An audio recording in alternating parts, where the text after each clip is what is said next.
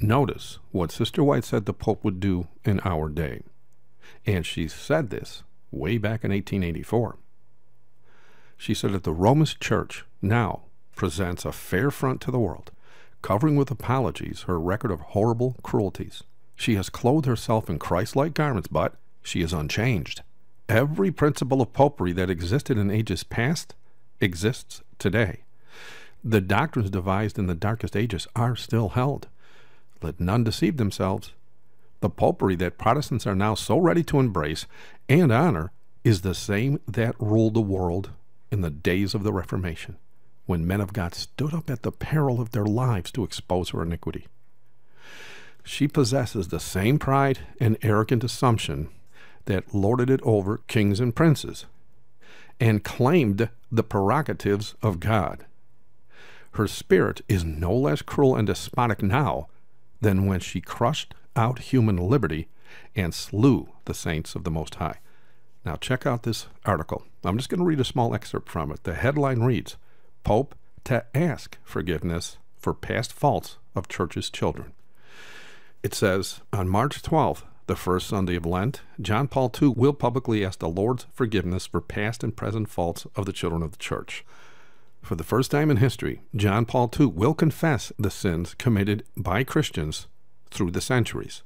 Specifically, he will admit the sins committed in the service of truth, which they declare are intolerance and violence against dissidents, religious wars, violence and abuses of the Crusades, and violent methods of the Inquisition the Holy Father, which, by the way, is a blasphemous term, but they say that the Holy Father will also express the repentance of Christians for the sins committed in relation to the people of Israel, which they say was contempt, acts of hostility, and silences.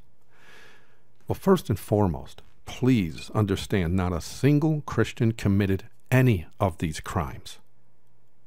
Basic reality is and we are living in the last days, so we know this now because the prophecy says the man of sin will be revealed in our day. None of the popes and the prelates of Rome are Christians, none of them. Have you seen some of the videos that I've been putting up in regards to how not only were they caught having satanic services in the Vatican, they're making buildings in the shapes of Satan, you know, the serpent that he uh, took form of in the Garden of Eden?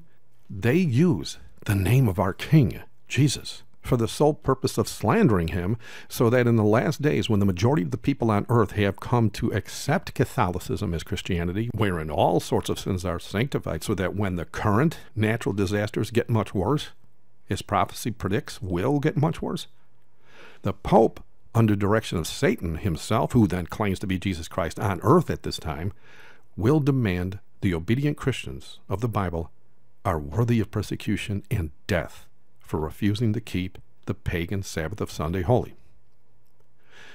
As prophesied, they will blame us for the calamities because we refuse to keep Rome's Sunday Sabbath, that they say by keeping will stop the calamities, when in fact those calamities have nothing to do with the Pope's climate change or global warming or even global cooling for that matter. These worldwide disasters were prophesied they are the final signs that herald the arrival, the second coming of Jesus Christ. And also notice that the present Pope, because they're trying to keep the love fest going, he's also apologizing for the sins of the church, claiming it, again, was Christians that did what they did, further confirming the prophecy of Ellen White. Ellen White not only prophesied that the Roman Catholic Church will apologize for her past evils as a way to save face and gain global approval, which we have seen fulfilled right before our very eyes, she also prophesied that the Protestant people will accept this apology and actually honor the Pope. Every Protestant church, and this includes the Seventh day Adventist Church, have openly declared the Pope to be a holy man, in writing no less, and some on camera, when not too long ago, these very same churches all in unison declared him to be the man of sin, or the son of perdition, or even Antichrist. What shocks but at the same time blesses my heart right now is how the emails and calls I have received from Seventh day Adventists who have watched these videos, who not only left their churches due to the truth presented here, all of them told me none of their pastors ever told them about any of this in all the years they have been sitting in that church. Now, do you see why they edited Sister White's books? Now do you see why it's so important you get your hands on the original books that can only be found at vbates.com? Had the people of God in the Seventh day Adventist Church known about her real message, or even some of the prophetic statements made by her about our day, you know, I would think that many more Seventh day Adventists would have left the church long ago. Thank you for watching. God bless.